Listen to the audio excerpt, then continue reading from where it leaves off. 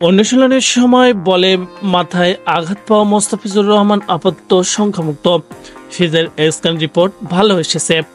বিষয়টি নিশ্চিত করেছে কুমিল্লা ভিক্টোরিয়ান্স টিম ম্যানেজমেন্ট সূত্র। জানা গেছে, মাথায় সেলাই শেষে এম্পেরিয়াল হাসপাতাল থেকে তাকে টিম হোটেলে নেওয়া হবে।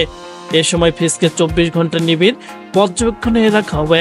ফিজের সর্বশেষ অবস্থা নিয়ে মিডিয়া ম্যানেজার খান নয়নের ভাষ্য, মোস্তাফিজ কুমিল্লা ভিক্টোরিয়ান্সের ঘরের ছেলে। এমন দুর্ঘটনায় কুমিল্লা ভিক্টোরিয়ান্সের টপ অফিসিয়ালরা সবাই হাসপাতালে চলে এসেছেন। এই মুহূর্তে মোস্তাফিজের কন্ডিশন স্পষ্ট করে কিছু বলা সম্ভব নয়। তাকে নিবিড় পর্যবেক্ষণে রাখা হয়েছে। আশা করি আজকের দিনের পর তার ব্যাপারে বিস্তারিত জানানো সম্ভব হবে।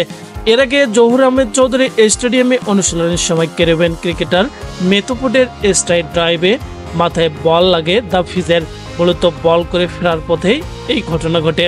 পরে এক সংবাদ বিজ্ঞপ্তিতে physio S M Zahedul Islam সজলের বরাত দিয়ে কুমিল্লা জানায়, আঘাতের পর তাৎক্ষণিকভাবে রক্ত পড়া থামাতে মোস্তাফিজের মাথায় ব্যান্ডেজ করা হয়। পরে দ্রুতই এম্পোরিয়াল হাসপাতালে নিয়ে করা হয় সিটি স্ক্যান।